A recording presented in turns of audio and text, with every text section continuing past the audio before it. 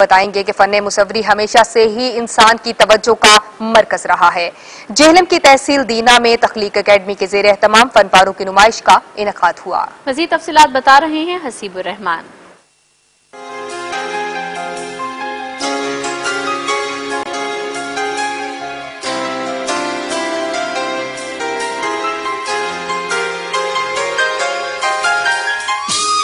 فن مصوری ہمیشہ سے ہی انسان کی توجہ کا مرکز رہا ہے۔ کینوس اور برج کے استعمال سے مصور نے جب بھی اپنے احساسات، جذبات کے اظہار کی عکاسی کرنے کی کوشش کی تو اسے زبردست پذیرائی ملی، جس کی مثال جیلم کی تحصیل دینا میں منعقد ہونے والی تحلیق اکیڈمی کے زیر تمام فنپاروں کی نمائش ہے۔ اکیڈمی کے طلباء نے دو سو سے زائد پینٹنگ جو کہ charcoal water colour, oil paint اور پینسل کا دلکش استعمال کر کے شہریوں کو اپنی توجہ کا مرکز بنا لیا۔